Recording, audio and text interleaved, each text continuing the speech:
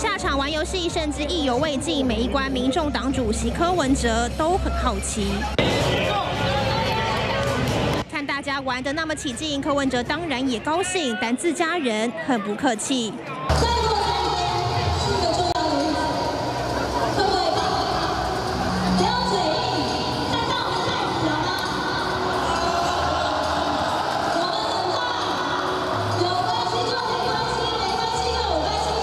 考环节，背景大图放上郑文灿，要他小心，可能有同样遭遇。柯文哲看来很无奈，因为左右都被轮番大酸就很好奇，一个号称智商一五七的人，七年怎么会跟国民党天七签六年协议啊？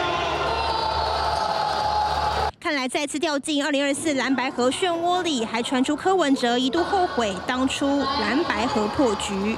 蓝白河哈，如果是和平的和，这没问题了。合作的和可以，合并的和我看就困难，因为 DNA 差太多了。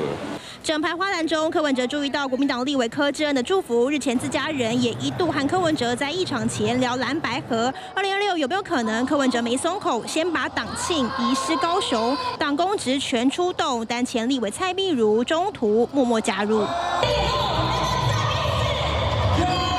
粉丝排队合照，没加入党庆主题游戏，和柯文哲唯一的互动在这里。报名的时候就要参加嘛，那你要不要玩游戏？哎，那一一开始我是说我要报名要参加，也要玩游戏，不过他们跟我说额满了，我就说好，那我就出席就好。